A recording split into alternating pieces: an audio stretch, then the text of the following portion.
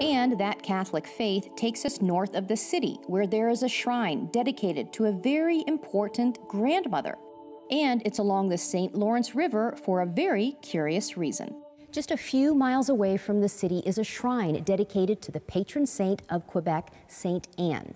The original shrine was built in 1658, and then this glorious basilica was built nearby in the 1920s on a much grander scale. Why so large? Well, to accommodate all the pilgrims.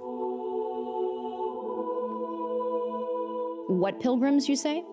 Thousands of believers from around the world come here to the Basilica to venerate a female saint who is very important to Christianity, although you may not be familiar with her. Who was Saint Anne? Saint Anne is the mother of Mary, so therefore the grandmother of Jesus. What we know about Saint Anne comes not from the Bible, but the Proto-Evangelium of James, which means the first draft of his gospel.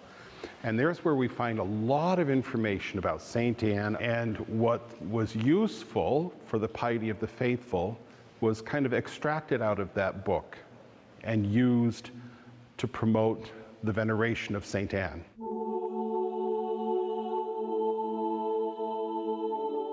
St. Anne is venerated around the world, but why especially so here in Quebec, in this exact location?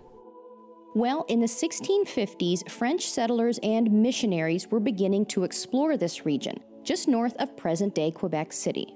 Then, it all starts in 1658. Um, a number of the settlers, the Breton settlers, were on a boat in the St. Lawrence River, and a bad storm came up. And so they prayed to St. Anne, their favorite patroness, to save them. And if she would save them, they would build her a chapel.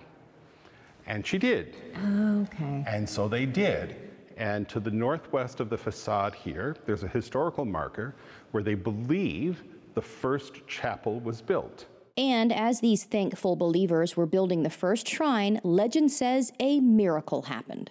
During the laying of the foundation of the chapel, um, a local fellow by the name of Louis Guimont uh, had suffered an accident on his farm and needed crutches to get around, whatever the accident was. And because of his disability, he couldn't do a lot to help with the building of the chapel, so he laid some stones in the foundation with love for good St. Anne, who had saved his friends in their, their distress. And he was miraculously cured. And that's what started it all back in 1658. And to this day, there are believers in St. Anne's ability to cure the ill and the weak, and explains why you will see these crutches displayed here inside the basilica.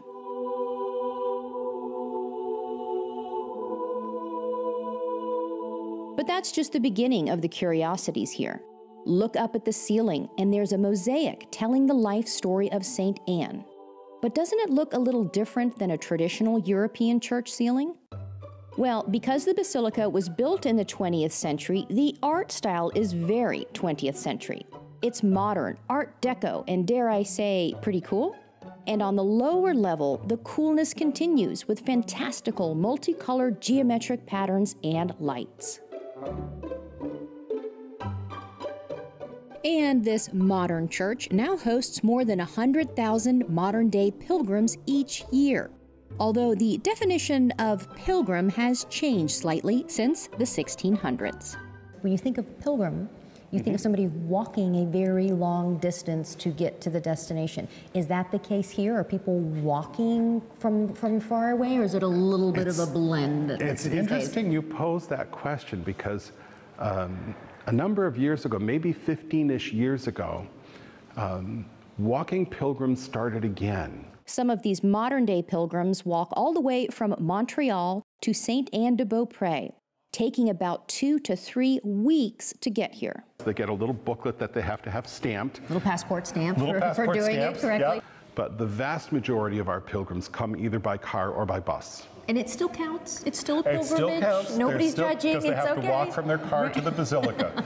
There's still some walking. There's still some walking. walking